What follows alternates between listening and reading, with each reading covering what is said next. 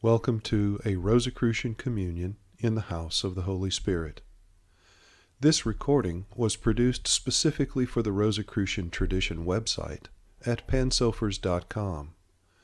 It is also part of the Rose Oratory, contemplative resources for the Rosicrucian tradition, and I am C.R. Chuck Dunning, Jr., an author, advocate, facilitator, trainer, and consultant in contemplative practice, mentoring, and leadership.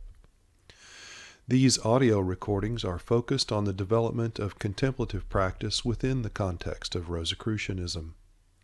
Persons who are not initiates in that tradition are welcome to make use of these recordings, but may find them referencing ritual experiences, symbols, and concepts without complete explanation. These recordings are provided to help listeners experience various contemplative methods and states of consciousness. It is hoped listeners eventually learn to practice those methods and enter those states without the assistance of recordings.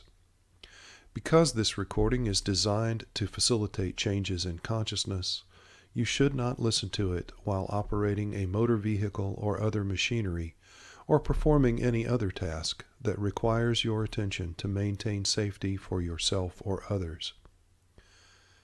This meditation facilitates spiritual communion with the Holy Spirit and all souls inspired by the Rose Cross. It is especially fitting to practice it on day C, as noted in the third agreement of the Order of the Rose Cross, according to the Fama Fraternitatis. Day C is typically regarded as an annual day, but sources disagree about which day it is. We here propose that Day C may also be regarded as the monthly recurrence of the first lunar crescent, hence the C. For convenience, it can be marked on our calendars as the first day after the new moon. Now, if you have not already done so, Take a moment to turn off any phones or other things that might disturb your meditation. While you do so, consider that the possibility for external distractions is almost always part of the meditative experience. Try to cultivate an attitude that distractions are simply opportunities to gently and calmly refocus on the meditation, which is good meditative practice in itself.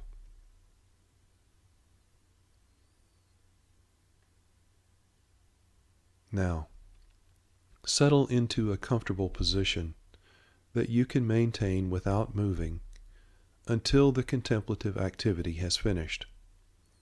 Your spine should be relatively straight, with no twist or strain in your neck or back. Closing your eyes is recommended. However, if you prefer not to close them, then allow your eyes to relax and steadily gaze upon some point directly in front of you if you wish, this would be a fitting moment to invoke spiritual assistance in whatever way is meaningful to you.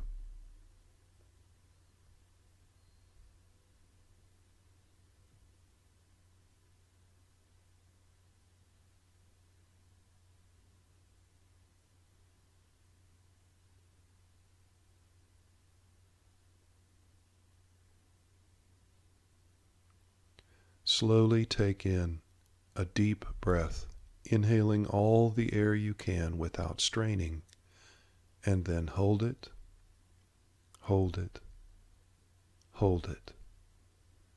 Now release the breath, exhaling all the air you can without straining, and then pause, pause, pause.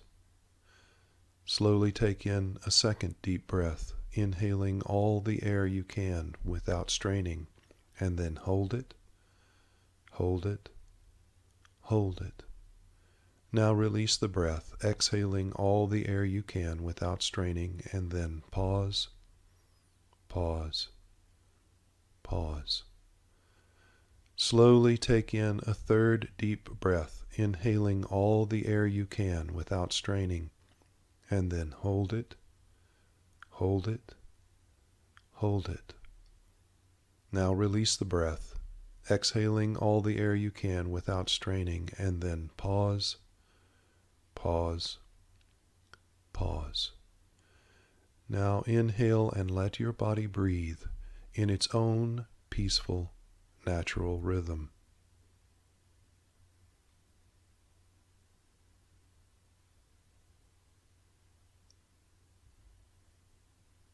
Attend to the sensation of the earth's gravity pulling down on your body. Feel it pulling your feet against the floor. Feel the gravity pulling down in your calves and shins. If you notice any unnecessary tension in those muscles, let it go and let the pull of gravity take you into a deeper state of calm peaceful relaxation.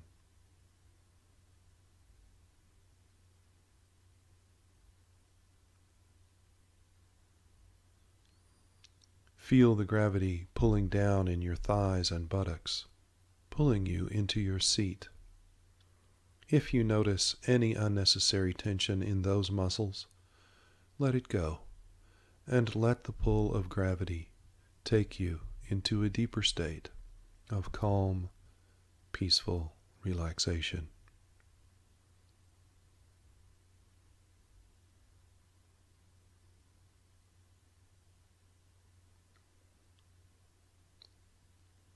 Feel the gravity pulling down in your hips, belly, and lower back. If you notice any unnecessary tension in those muscles, let it go leaving only what is necessary to keep you sitting in a healthy posture. And let the pull of gravity take you into a deeper state of calm, peaceful relaxation.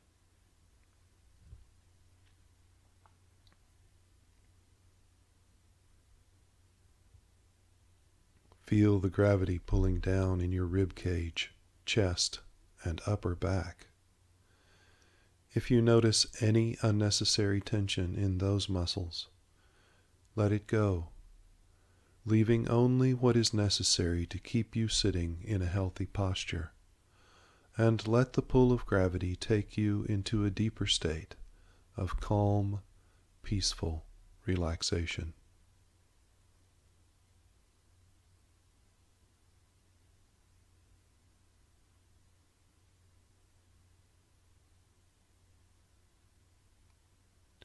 Feel the gravity pulling down in your shoulders and neck.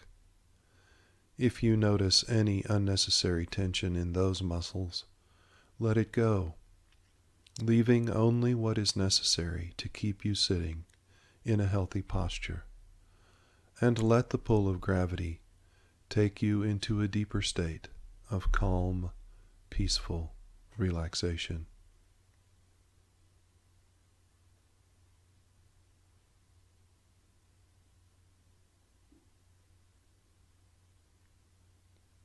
Feel the gravity pulling down in your upper arms, forearms, wrists, and hands. If you notice any unnecessary tension in those muscles, let it go and let the pull of gravity take you into a deeper state of calm, peaceful relaxation.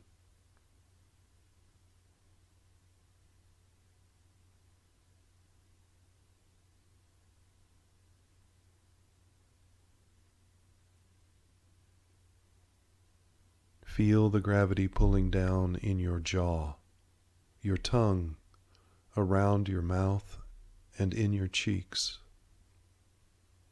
Feel the gravity pulling down around your eyes and in your brow. Feel the gravity pulling down in your scalp, on the top of your head, around the sides, and down the back. If you notice any unnecessary tension in those muscles, let it go, leaving only what is necessary to keep you sitting in a healthy posture, and let the pull of gravity take you into a deeper state of calm, peaceful relaxation.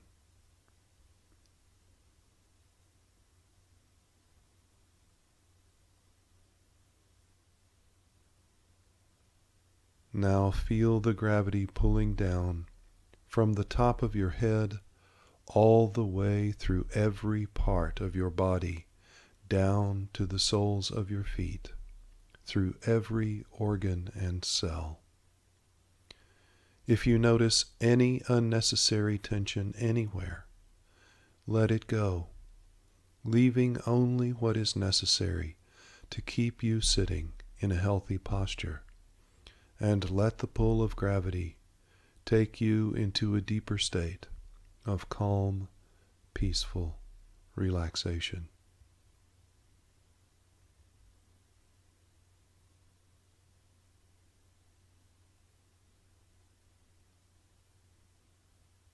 Turn your attention back to your breath, flowing in and out in its own peaceful, natural rhythm.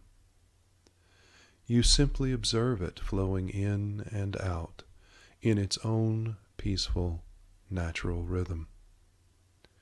Feel each breath taking you into a deeper state of calm, peaceful relaxation.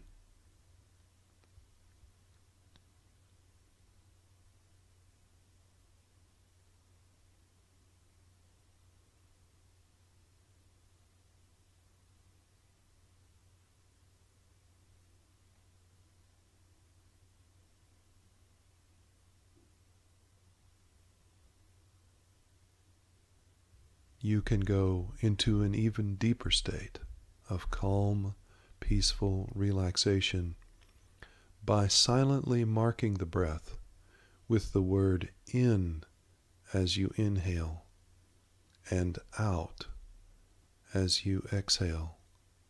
In, out. Just continue observing the breath flowing in and out in its own peaceful, natural rhythm as you continue silently repeating in, out.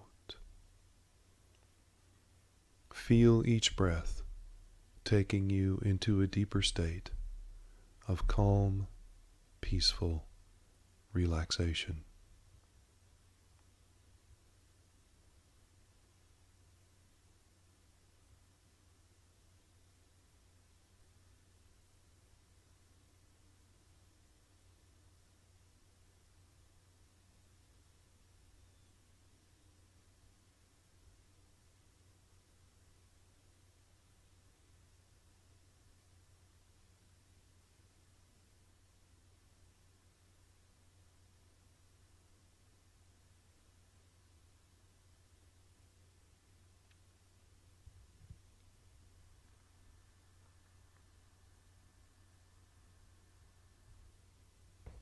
As stated in the Fama Fraternitatis, our building, although 100,000 people had very near seen and beheld the same, shall forever remain untouched, undestroyed, and hidden from the godless world, under the shadow of thy wings, O God. Imagine before you an arched stone portal in which hangs a silky black veil bearing the image of a rose cross. For a moment, just look upon this veiled portal and the image of the rose cross to see it as clearly as possible, sensing its profound depths of meaning and power.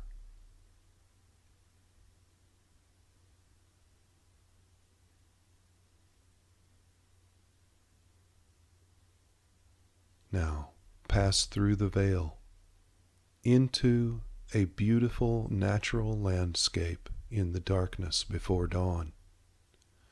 To your left, up in the indigo sky, shines the lovely crescent of the newly waxing moon surrounded by twinkling stars, planets, and galaxies.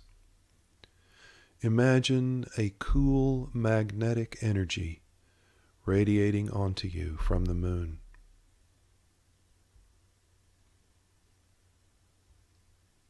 Know that you are not alone and feel about you the spirits of countless others who have come here by the path of the Rose Cross. Lovingly recall some of the names and faces of those you regard as companions on this path.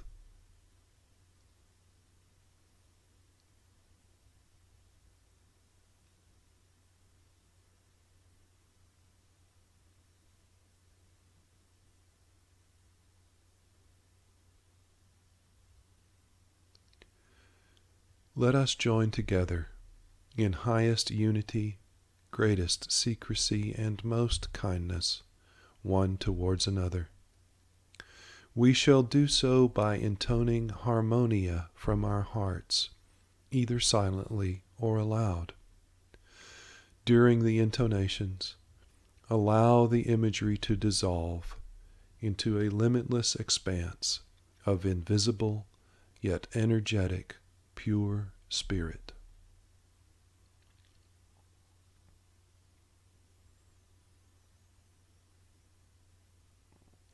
Oh.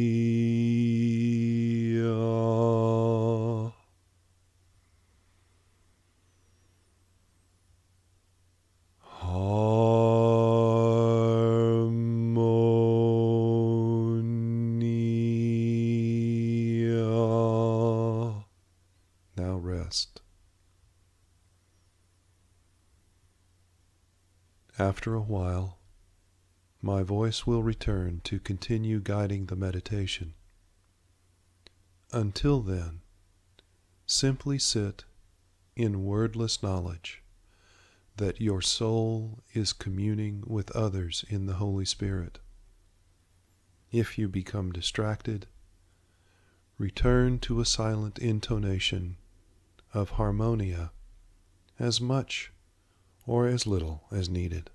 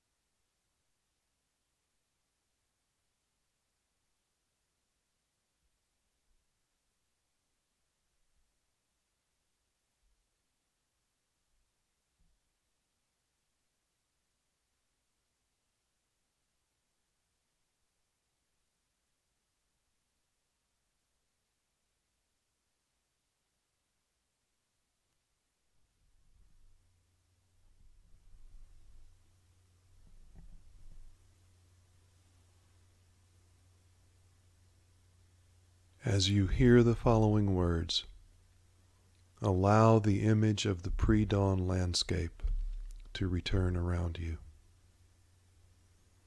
Wisdom, said Solomon, is to us an infinite treasure, for she is the breath of the power of God and a pure influence that flows from the glory of the Almighty.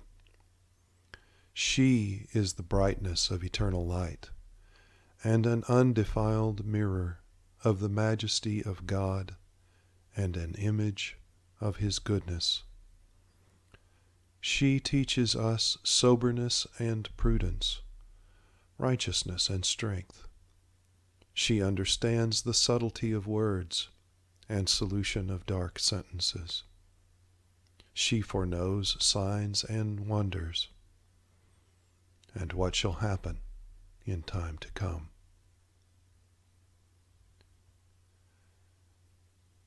Now look to your right within the landscape and know it is fitting that before the rising of the sun there should appear and break forth aurora, or some clearness or divine light in the sky. As that light appears, you also see to your right an ancient natural stone altar. On the altar rests a large book approach the altar, bow, and then kneel.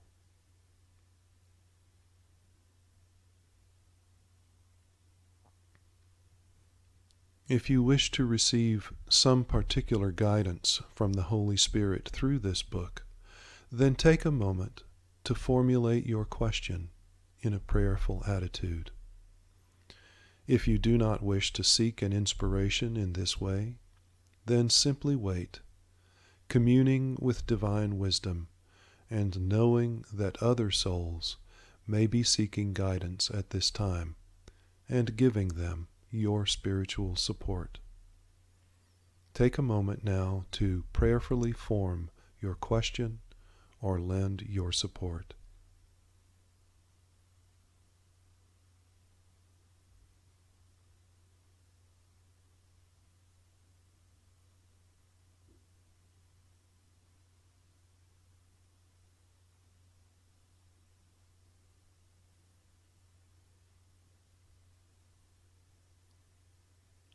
If you are seeking guidance, then open the book. Look upon the page to which you have turned, making note of whatever appears in response to your request. It may be something simple or complex, familiar or strange, changing or unchanging, or it may be nothing at all. In any case, take a moment to attend to it so you can recall and consider it further after this communion is completed.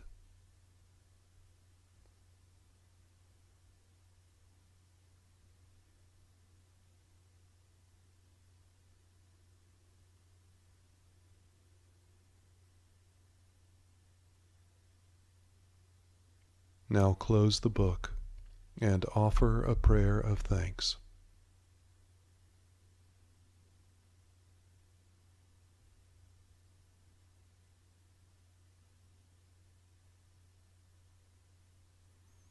Whatever your choice at the altar, you now look to the horizon in front of you and see the golden disk of the sun partially risen above the earth. Feel its warmth on your face and chest, reaching into your heart as you hear these words from the chemical wedding. There is nothing better here below than beauteous, noble love, whereby we like to God do grow, and none to grief do move. Wherefore let's chant it to the King, that all the sea thereof may ring. We question, answer you. What was it that at first us made? It was love. And what hath grace afresh conveyed? It is love. Whence was't, pray tell us, we were born? Of love. How came we then again forlorn? Without love. Who was it, say, that us conceived? It was love. Who suckled, nursed, and relieved? It was love. What is it we to our parents owe? It is love. What do they, us, such kindness show? Of love. Who gathers in the victory? It is love. Can love by search obtained be? By love.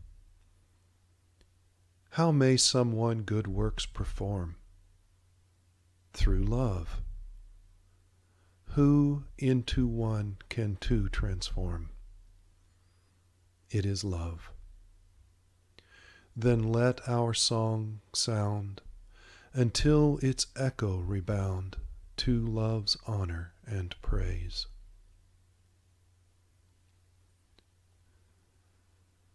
For a moment, remain at the altar in communion with the Holy Spirit and all souls inspired by the Rose Cross, wishing each of them more of the beauty and warmth of life, light, and love.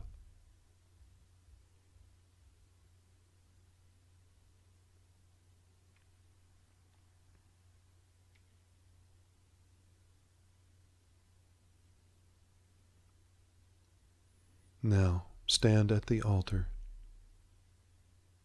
bow, and then turn to your right to go back to the arched stone portal.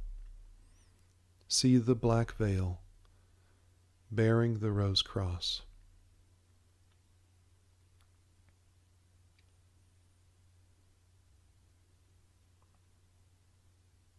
And then step through allowing all the imagery to disappear behind you as you once again become aware of your physical body.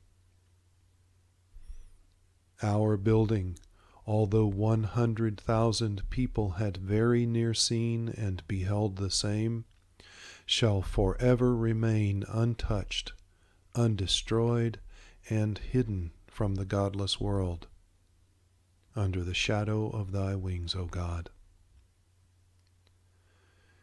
Now let go of the imagery and begin ending the meditation by attending to the sensations of your body. Feel the gravity pulling you down into your seat and your feet against the floor. Feel the air on your skin, the breath flowing in and out. Hear what you hear. Smell what you smell and taste what you taste. When you are ready, take a deep breath, open your eyes, and see what you see.